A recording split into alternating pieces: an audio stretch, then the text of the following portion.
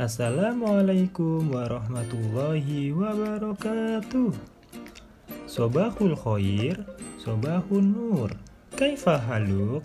Alhamdulillah ana bi khair Alhamdulillah Semoga kalian tetap dalam lindungan Allah Subhanahu wa taala.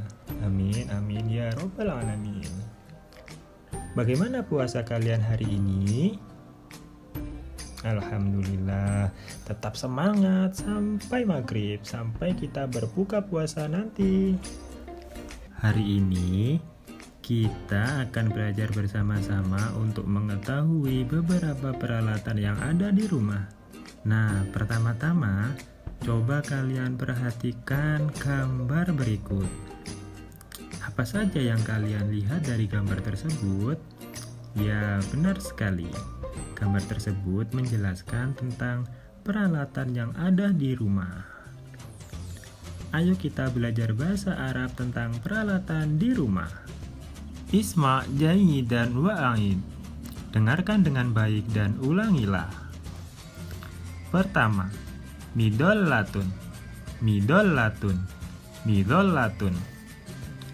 Kedua, minas satun. Minas satun. Minas satun. Ketiga, mikna satun, mikna satun, mikna satun. Keempat, salajatun, salajatun, salajatun. Kelima, mirwahatun, mirwahatun, mirwahatun. Keenam, televisi yuna, televisi yuna, televisi yuna. Ketujuh, sarirun, sarirun, sarirun.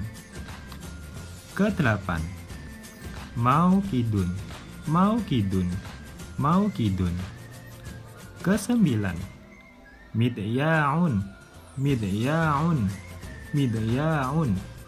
Midolatun artinya payung. Midolatun artinya payung. Minasatun artinya kemoceng. Minasatun artinya kemoceng. Miknasatun artinya sapu. Miknasatun artinya sapu. Salajatun artinya kulkas. Salajatun artinya kulkas. Mirwahatun artinya kipas angin. Mirwahatun artinya kipas angin. Televisiuna artinya televisi. Televisiuna artinya televisi. Sarirun artinya kasur. Sarirun artinya kasur. Maukidun artinya kompor gas. Maukidun artinya kompor gas. Miryaun artinya radio. Miryaun artinya radio. Isma kalam al ustad sumahawir ma'a ustadik.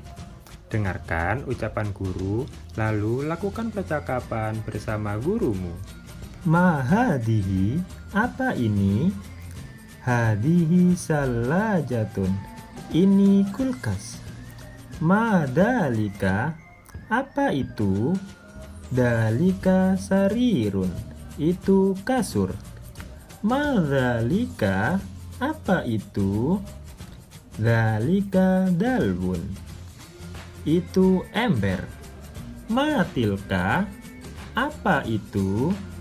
Tilka mirwahatun. Itu kipas angin. Undur ila zaburah, lihatlah ke papan tulis.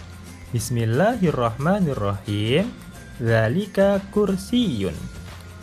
Itu kursi. Zalika dalun. Itu ember. Zalika maukidun. Itu kompor gas. Zalika midyaun. Itu radio. Tilka mirwahatun. Itu kipas angin. Tilka miknasatun.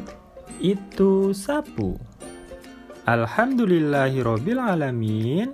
Anak-anak, untuk pelajaran kita hari ini cukup sampai di sini. Semoga apa yang kita pelajari bermanfaat dan berguna untuk kita semua.